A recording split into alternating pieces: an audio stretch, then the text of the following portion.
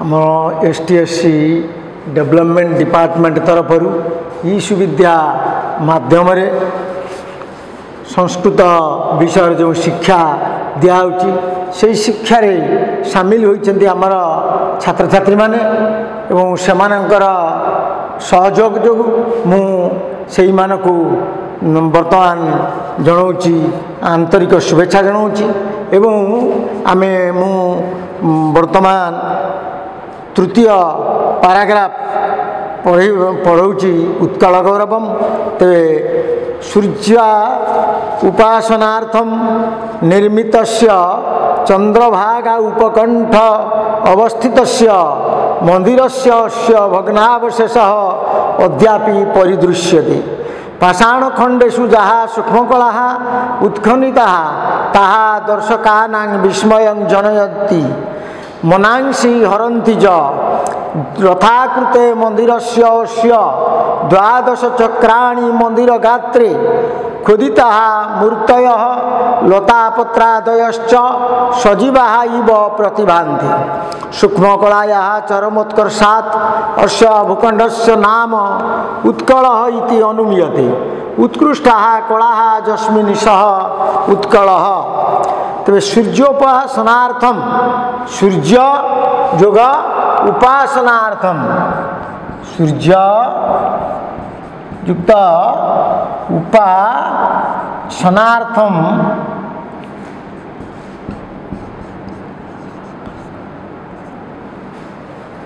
ଅର୍ଥାତ୍ ସୂର୍ଯ୍ୟ ଉପାସନାର୍ଥମ ସୂର୍ଯ୍ୟଙ୍କୁ ଉପାସନା କରିବା ନିମନ୍ତେ ପୂଜା କରିବା ନିମନ୍ତେ ନିର୍ମିତ ଚନ୍ଦ୍ରଭାଗା ଉପକଣ୍ଠାବସ୍ଥିତ ଅସ୍ୟ ଭଗ୍ନାବଶେଷ ଅଦ୍ୟାପି ପରିଦୃଶ୍ୟତେ ଚନ୍ଦ୍ରଭାଗା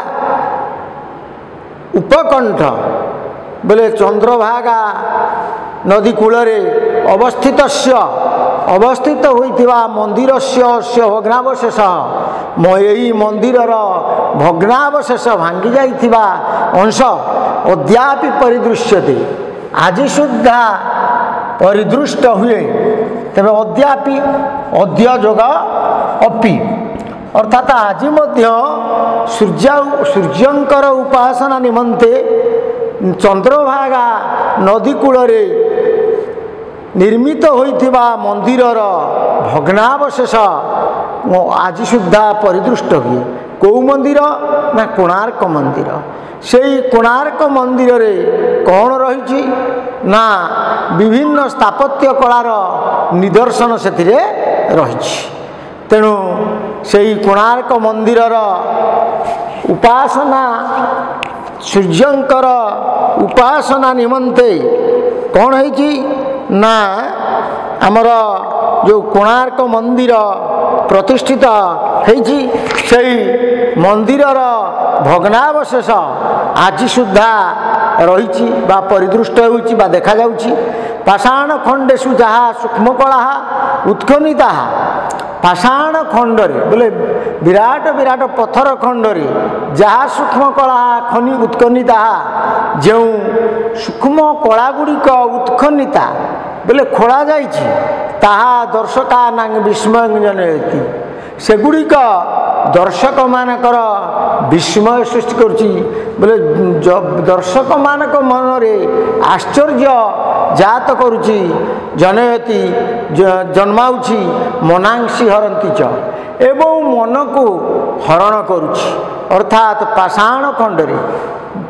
ବର ଆମର ପଥର ବଡ଼ ବଡ଼ ପଥର ଖଣ୍ଡ ମାନଙ୍କରେ ଯେଉଁ ସୂକ୍ଷ୍ମ କଳା କାରୁକାର୍ଯ୍ୟ ଉତ୍ଖନିତା ବୋଲେ ଖୋଳା ଯାଇଛି ଖୋଦିତ ହୋଇଛି ତାହା ଦର୍ଶକା ନାହିଁ ବିସ୍ମୟ ଜନୟନ୍ତି ସେଗୁଡ଼ିକ ଦର୍ଶକମାନଙ୍କର ବିସ୍ମୟ ଜନୟନ୍ତି ବୋଲେ ବିସ୍ମୟ ସୃଷ୍ଟି କରୁଛି ଅର୍ଥାତ୍ ଦର୍ଶକମାନଙ୍କର ମନରେ ଆଶ୍ଚର୍ଯ୍ୟ ସୃଷ୍ଟି କରୁଛି ମନାଂଶୀ ହରନ୍ତି ଚ ଏବଂ ମନକୁ ହରଣ କରିଦେଉଛି ରଥାକୃତ ହେ ମନ୍ଦିର ଶ୍ୟାସ୍ୟ ଦ୍ୱାଦଶ ଚକ୍ରାଣୀ ମନ୍ଦିର ଗାତ୍ରେ ଖୋଦିତା ମୂର୍ତ୍ତୟ ଲତାପତ୍ରାଦୟଶ୍ଚ ସଜୀବା ଇବ ପ୍ରତିଭାନ୍ତି ତ ରଥାକୃତ ହେ ରଥ ଯୋଗ ଆକୃତ ହେ ରଥାକୃତ ହେ ରଥ ଆକୃତିର ମନ୍ଦିରସ୍ୟ ଅସ୍ୟ ଏହି ମନ୍ଦିରର ଦ୍ୱାଦଶ ଚକ୍ରାଣୀ ବାରଟି ଚକ ମନ୍ଦିର ଗାତ୍ରେ ଖୋଦିତା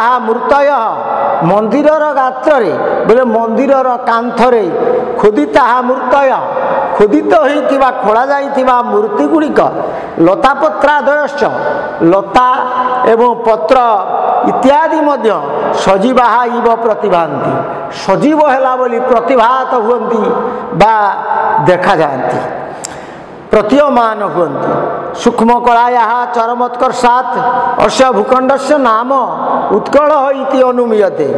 তো সূক্ষ্ম কলা ইহা চরম উৎকর্ষাৎ। সূক্ষ্ম কারুকার্য যুক্ত কলার চরম উৎকর্ষ হেতু অস্য ভূখণ্ডস্য নাম। এই ভূখণ্ডর নাম উৎকল হইতি অনুমীয়তে। ଇତି ଅନୁମୀୟତେ ଉତ୍କଳ ବୋଲି ଅନୁ ଅନୁମିତ ହୁଏ ଅନୁମାନ କରାଯାଏ ଉତ୍କୃଷ୍ଟ କଳା ଯସ୍ମିନୀ ସହ ଉତ୍କଳ ତେବେ ଉତ୍କୃଷ୍ଟ କଳା ଗୁଡ଼ିକ ଯେଉଁଥିରେ ଅଛି ତାହା ହେଉଛି ଉତ୍କଳ ଅର୍ଥାତ୍ ଏହି ଉତ୍କଳୀୟମାନେ ଉତ୍କୃଷ୍ଟ କଳାର ଯେଉଁ ଚରମ ନିଦର୍ଶନ ଦେଖାଇଛନ୍ତି ଆମର କୋଣାର୍କ ମନ୍ଦିରରେ। ତେଣୁ ସେଇଥିପାଇଁ ଆମର ଏଇ ଓଡ଼ିଶାର ଅନ୍ୟ ନାମ ରହିଛି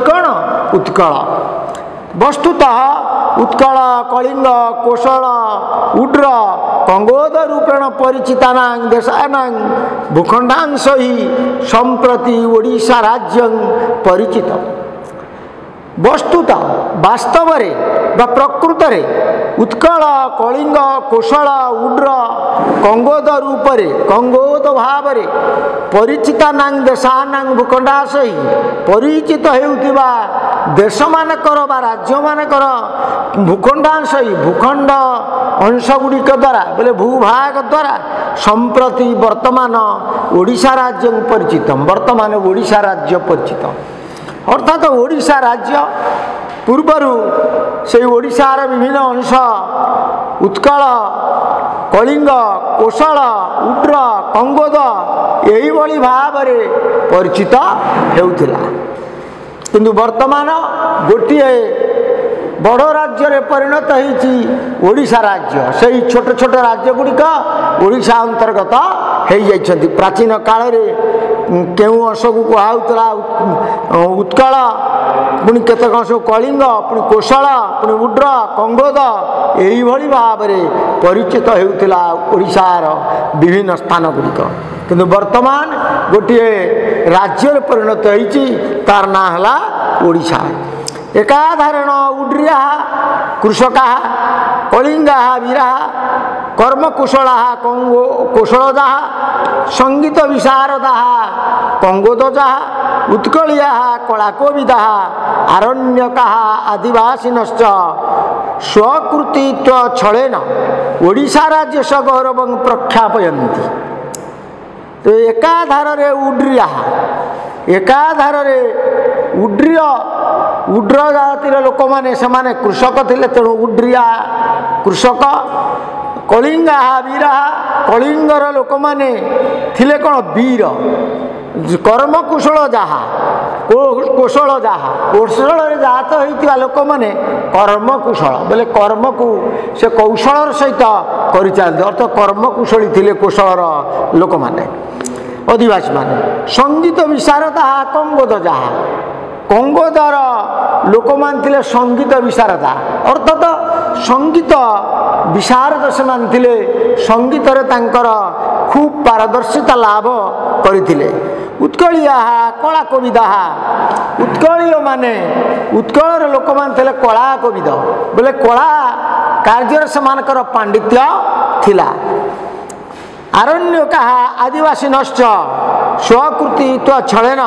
ତେବେ ଆରଣ୍ୟକ ମାନେ ଯେଉଁମାନେ ଜଙ୍ଗଲରେ ବସବାସ କରୁଥିଲେ ଅରଣ୍ୟରେ ବାସ କରୁଥିବା ଆଦିବାସୀ ନହଞ୍ଚ ଆଦିବାସୀମାନେ ମଧ୍ୟ ସ୍ୱକୃତିତ୍ୱ ଛଳନ ନିଜ କୃତିତ୍ୱ ଛଳରେ। ଓଡ଼ିଶା ରାଜ୍ୟ ସହ ଗୌରବ ପ୍ରଖ୍ୟାପୟନ୍ତି ଓଡ଼ିଶା ରାଜ୍ୟର ସେମାନେ ଗୌରବକୁ କ'ଣ କରନ୍ତି? ନା ପ୍ରଖ୍ୟାପୟନ୍ତି ବୋଲେ ଓଡ଼ିଶା ରାଜ୍ୟର ଗୌରବ ଏବଂ ଖ୍ୟାତି ଆଣିପାରିଛନ୍ତି। ଜାତୀୟ ସଙ୍ଗୀତେ ପ୍ରଯୁକ୍ତ ପ୍ରଯୁକ୍ତମ ଉତ୍କଳମ ଇତି ପଦମ ଓଡ଼ିଶା ନିମିତ୍ତ କମେବ ତେବେ ଜାତୀୟ ସଙ୍ଗୀତରେ ପ୍ରଯୁକ୍ତ ହୋଇଥିବା ଉତ୍କଳ ମିତି ଉତ୍କଳ ନାମକ ପଦମ ପଦଟି ଓଡ଼ିଶା ନିମିତ୍ତ କମ୍ୟବ ଓଡ଼ିଶାର ନିମିତ୍ତକ ନିମନ୍ତେ କ'ଣ ହେଇଛି ନା ବ୍ୟବହାର ହେଇଛି ଅର୍ଥାତ୍ ଓଡ଼ିଶାର ଅନ୍ୟ ନାମ ଥିଲା କ'ଣ? ଉତ୍କଳ। ତେଣୁ ଜାତୀୟ ସଙ୍ଗୀତରେ ପ୍ରଯୁକ୍ତ ହୋଇଥିବା ଉତ୍କଳ ପଦଟି ଓଡ଼ିଶାର ନାମକୁ ସେ ବହନ କରିଛି।